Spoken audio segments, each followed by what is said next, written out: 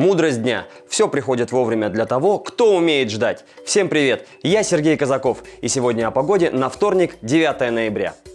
По северным районам ветрено. Порывы ветра до 8 метров в секунду. Днем переменная облачность и до плюс 1 градуса. Ночью минус 8. По югу днем малооблачно, до плюс 5 и без осадков. Ночью минус 6. В Улан-Удэ днем плюс 3 градуса, малооблачно и без осадков. Ночью до минус 4 градусов. Отличной недели любимым зрителям АТВ!